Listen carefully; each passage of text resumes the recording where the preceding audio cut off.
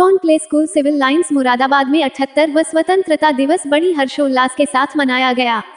इस अवसर पर कार्यक्रम का शुभारंभ प्रार्थना गीत से किया गया। कार्यक्रम का संचालन स्कूल की ही अध्यापिका द्वारा किया गया। इस अवसर पर मुख्य अतिथि के रूप में श्रीमती आशा और श्रीमती सचिवालय और श्रीमती मेंशल उपस्थित रही। विद्यालय की पका श्रीमती सुनीता डी सिंह द्वारा ध्वजारोहण किया गया।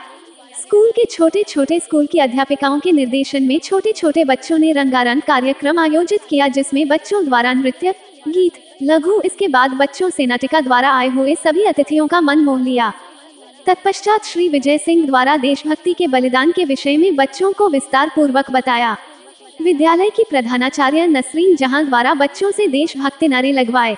अंत में विद्यालय की प्रधानाचार्य द्वारा सभी का आभार व्यक्त करते हुए सभी से यह अपेक्षा कि वह देश की अखंडता एवं एकता को बनाए रखेंगे के लिए संकल्प लेना होगा। स्वतंत्रता दिवस के उपलक्ष्य में क्या संदेश है आपका?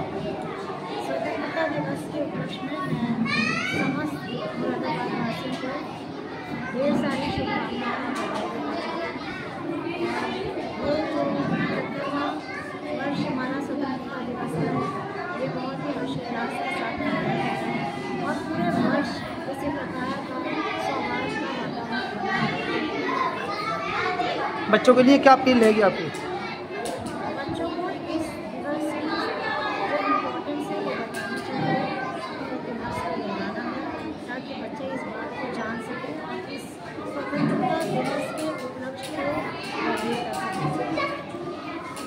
क्या शुभकामना देना चाहेंगे बच्चों के लिए भविष्य के लिए?